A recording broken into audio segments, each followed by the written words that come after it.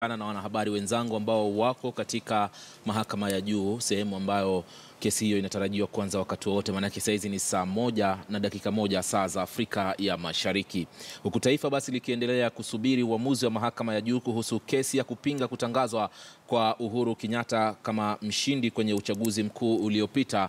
Waziri wa maji na unyunyizaji mashamba Eugene Wamalwa ameutaka mrengo wa upinzani kujiepusha na semi zitakazohujumu uamuzi wa kesi hiyo.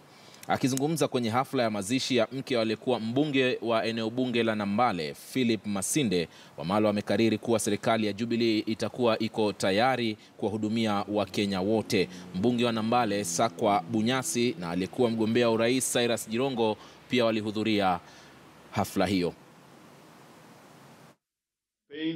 Na kampeni zimekwisha, uchaguzi umefanywa, matokeo yametangazwa. Yale yamebaki sasa ni yale ambao mawakili wa upande zote watashughulikia kule mahakamani, na tuna imani ya kwamba judges of the Supreme Court have what it takes to deliver justice in the pending petition that is before them.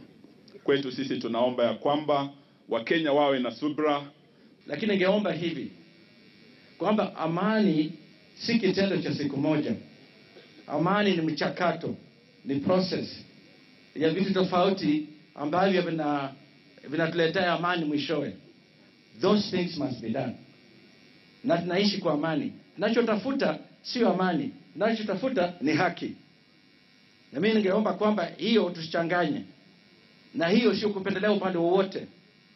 Even the president, President Uhuru, be a happy man if he feels not only is the country peaceful but a country that where justice prevails. Rafiki zangu wengi walisema, Jirongo, wewe sasa ukisonga utatuharibia sisi watu wa NASA kura, na nikasema kama haja au kama itasemekana Jongo ndiye aliharibu kura, wacha nikae nyumbani tuone dunia inaenda namna gani.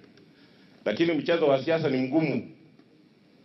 Ukijua mchezaji fulani ni hatari, kitu ya kwanza una unammark. Unajua tukiingia kiwanja lazima huyo alale nje, na imefanyika vile imefanyika.